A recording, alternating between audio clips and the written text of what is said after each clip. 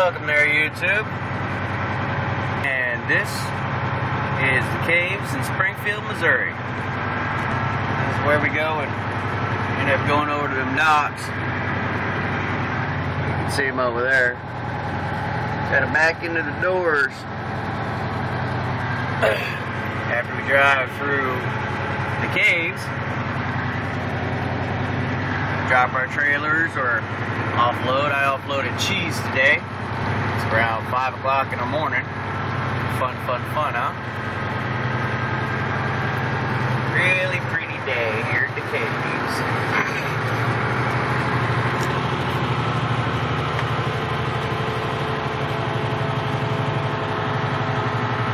Have a good one.